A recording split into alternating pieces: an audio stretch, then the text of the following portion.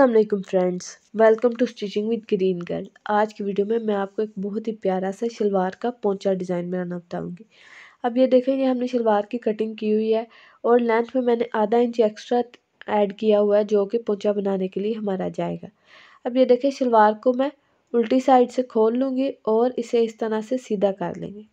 सीधा करने के बाद इसे प्रेस कर लेंगे ताकि इसके अंदर जितनी भी सिलवट है वो निकल जाए। लेकिन जो हमारी दरमियान वाली तय की सिलवट थी, वो थोड़ी सी सहत थी, इसलिए मैं उसके ऊपर हल्का सा शावर लगा के दोबारा प्रेस कर प्रेस कर दूँगी ताकि वो सिलवट भी हमारी निकल जाए। फिर ठीक है, इस तरह से बिल्कुल सीधा हमने इसे प्रेस कर लिया। ये हमारा प्रेस हो गया। प्रेस होने के बाद अब ये देखें, हम अपनी लेंगे चेपी। चेपी की चौड़ाई है पाँच इंच, इसलिए हम पाँच इंच का पोंचा तैयार करेंगे। ठीक है, नीचे से आधा इंच हम छोड़ देंगे और छोड़ने के बाद हम इसे अच्छी तरह से मैं ऐसे रख के चिपका लूँगी। ये देखें इस तरह से मैं रखती जाऊँगी और चिपकाती जाऊँगी।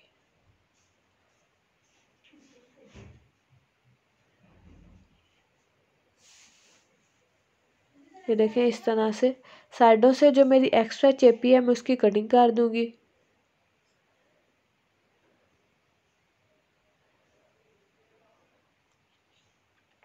उसकी हमने कटिंग कर दी। उसके बाद आपने एक कपड़ा लेना है, जिसकी चौड़ाई चेपी से ज़्यादा होनी चाहिए। ये देखिए यहाँ से। ये मेरा ऊपर से चेपी से फोल्ड होना है, इसलिए कपड़े की चौड़ाई ज़्यादा है। इसे मैं इसके बराबर रख के और साइडों से जो एक्स्ट्रा कपड़ा काटना है ना, वो कपड़ा भी काट लूँगी। ये देखें इस तरह से ये मैंने काट लिया। अब मैं आपको इसकी सिलाई लगाना बताती हूँ। अब ये देखें, ये हमारा पोंचे वाला हिस्सा है और ये वो कपड़ा है जो हमने नीचे रख के काटा था। अब मैं पोंचे वाले हिस्से को कपड़े के ऊपर इस तरह से आधा इंच के ऊपर इस तरह रखेंगे। ये देखें पोंचे की हमारी सीधी साइड है और किनारी पे सिलाई लगाऊँगी। पोंचे की बुकरम के साथ जो एक्स्ट्रा कपड़ा था वो मैंने अंदर की तरफ़ फोल्ड कर लिए फोल्ड करके तय बिठा ली थी। और अब इस कपड़े के बराबर हम आधा इंच के ऊपर रख के सिलाई लगाएँगे। ये देख सकते हैं आप मैंने अंदर की तरफ़ एक्स्ट्रा कपड़ा फोल्ड कर लिया था और किनारी पे सिलाई लगाऊँगी। ये देखें इस तरह से।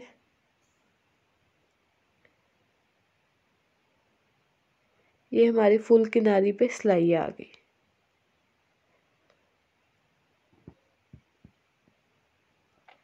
ये सिलाई आ गई। सिलाई के बाद मैं आपको दिखाती हूँ कि ये इस तरह से कपड़ा हमारा अटैच हो गया। अब हम इसे उल्टी साइड की तरफ़ इस तरह से फोल्ड करेंगे। हमारी किनारी वाली सिलाई भी लग गई और कपड़ा भी अटैच हो गया।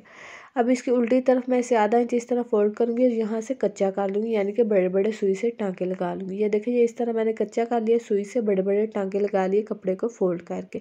हमने उतना ही कपड़ा फोल्ड किया जितनी हमारी चेपी थी। उसके बाद मैंने पहली सिलाई तो लगाई हुई थी, उसके बाद मैं अगली सिलाइयाँ लगाऊँगी और वो सिलाइयाँ हम लगाएँगे पैर पैर के वक्फे के ऊपर। ठीक है? यानी कि पैर से थोड़ी खुली ही होनी चाहिए। ये पाँच इंच का पोंचा है। इसके ऊपर आपकी काफ़ी ज़्यादा सिलाइयाँ जाएँगी। इसलिए आपने ख्याल रखना है कि आपकी जो सिलाइयाँ हैं, उनके दरमियान वक्फा पैर जितना या पैर से खुला, पैर से तंग नहीं हो, नहीं तो वो दिखने में भी अच्छा नहीं लगेगा और आपकी सिलाइयाँ भी बहुत ज़्यादा लग जाएँगी। ठीक है? इस तरह से ये देखें।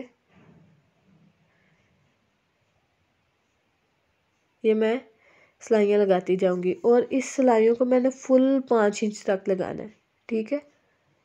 आप भी इस तरह से पाँच इंच चौड़ा, अगर आपको पाँच इंच ज़्यादा चौड़ा लग रहा है तो आप चार ले लें, लेकिन मुझे लग रहा है कि पाँच मुनासब है और अच्छा लगता है। अब मैं उसके ऊपर सिलाइयाँ लगा लेती हूँ।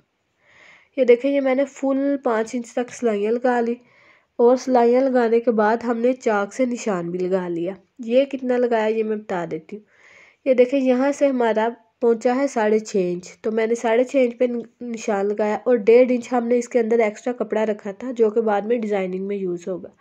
अब ये देखें मैं एंड से सिलाई लगाना स्टार्ट नहीं करूँगी, बल्कि जहाँ पे हमारी सिलाइयाँ ख़त्म हो रही हैं, वहाँ से दो तीन सिलाइयों को, यहाँ से दो तीन सिलाइयों से हम अपनी इस तरह से सिलाई लगाना शुरू करेंगे। देखें इस तरह से सिलाई लगाई, फिर मैं अपनी सिलाई को दो तीन दफ़ा पक्का करूँगी ताकि हमारी सिलाई बाद में निकले नहीं। ठीक है एंड वाली दो तीन सिलाइयों से आपने सिलाई लगानी है। और बिल्कुल अंदर जो शलवार, हम जिस तरह शलवार की सिलाई लगाते हैं, वो सिलाई लगा दूँगी। उसके बाद मैं आपको पोंचे का डिज़ाइन बनाना बताऊँगी। पहले आपने अपनी नाली की सिलाई शलवार की लगा लेनी है। ये देखें इस तरह से।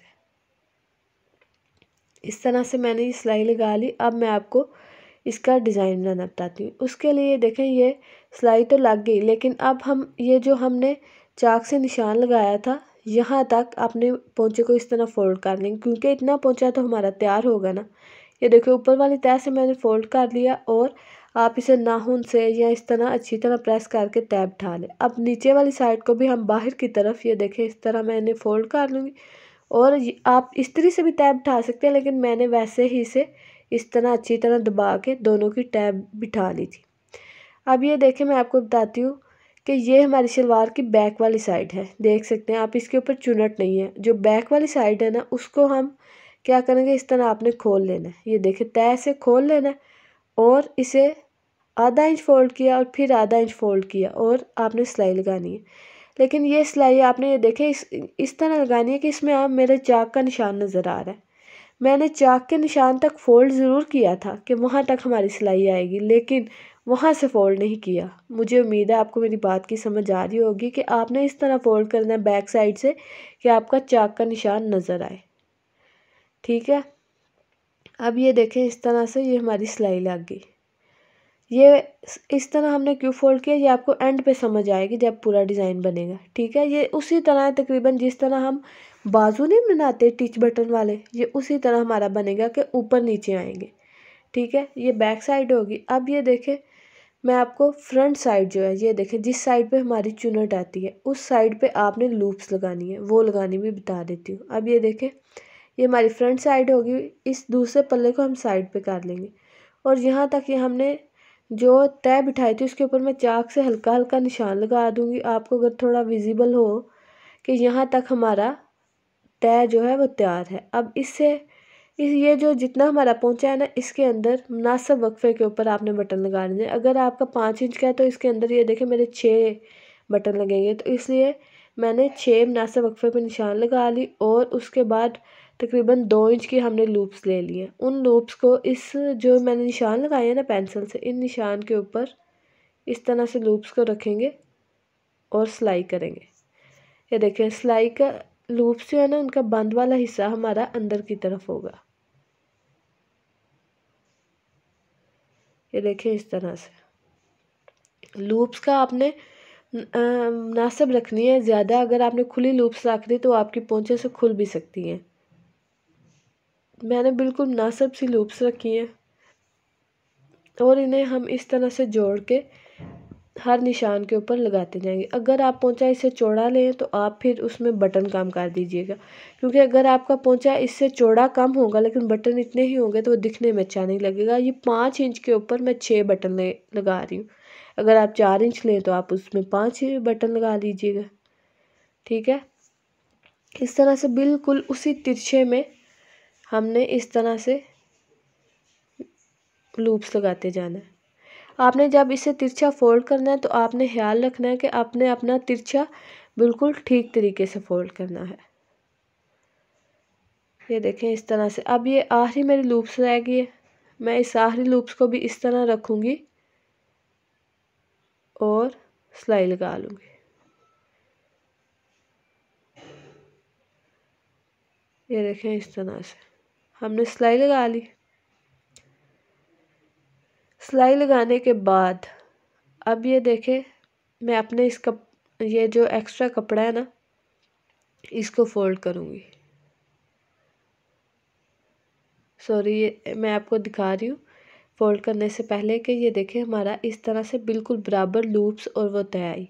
ठीक है, अब मैं क्या करूँगी कि अपने इस कपड़े को आधा इंच अंदर की तरफ़ एक दफ़ा फोल्ड करूँगी, ये देखें इस तरह से। और फिर इसके ऊपर लूप्स के ऊपर इस तरह रख के सिलाई लगा दूँगी, जिससे हमारी लूप्स बिल्कुल गुम हो जाएँगी। ठीक है, ये अंदर मैंने शलवार के अंदर डेढ़ डेढ़ इंच कपड़ा इसीलिए ज़्यादा रखा था, क्योंकि वो मुझे पता था हमारा लूप्स के अंदर, और दूसरी साइड पे भी ये देखें, इस तरह से वो भी डेढ़ इंच था तो हमारा पूरा आया। इसलिए आपको पहुँचा जितना तैयार रखें, उसमें डेढ़ इंच ऐड कर लीजिएगा। और आप ये देखें, इसे मैं आधा इंच ऊपर फोल्ड करके लूप्स की सिलाई के ऊपर सिलाई लगा दूँगी। ये देखें, इस तरह से हमारा बहुत सफ़ाई से तैयार होगा, आपकी लूप्स की धागे, सिलाइयाँ, कुछ भी नहीं नज़र आएगा। ये फ्रंट साइड से भी आपको दिखाऊँगी ना, आपको फिर अच्छे से समझ आएगी। यहाँ से मैं धागे एक्स्ट्रा जो है ना, वो काट लूँगी, ताकि हमारा नीटली तैयार हो। अब ये देखें, इस तरह हो गया। अब हमारी एक सिलाई बस गई। वो सिलाई कौन सी है? वो है ये लूप्स वाली। अब ये देखें, इसे हम अंदर की तरफ़ इस तरह से फोल्ड करेंगे।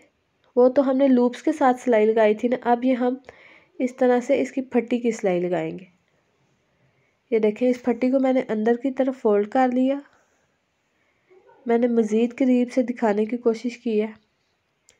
यहाँ से शुरू से पक्का कर लेंगे और यहाँ पे हम ऐसे आखिरी लूप्स तक सिलाई ले आएँगे और फिर सिलाई को ख़त्म कर देंगे। ये देखें, आखिर तक मैं सिलाई ले आई।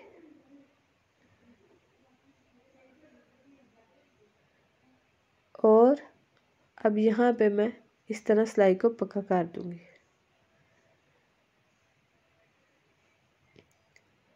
ये देखें इस तरह से।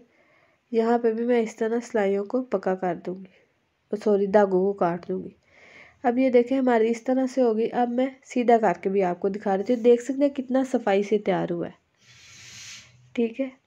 अब ये देखें, ये इस तरह से ऊपर नीचे आएगा। वो अंदर इसी तरह कपड़ा हमने रखा था, जिस तरह बाजुओं के हम टिच बटन वाले बाजू बनाते हैं ना, वो इस तरह ऊपर नीचे आते हैं। इस तरह शलवार का पोंचा भी आपका ऊपर नज़र, नीचे आएगा। अब यहाँ पे जो इसके बटन्स हैं वो मैं बटन्स लगा लूँगी। ये देखें, इस तरह लूप्स लग। गए अब मैं यहाँ पे बटन्स लगा लूँगी और फिर आपको दिखाती हूँ।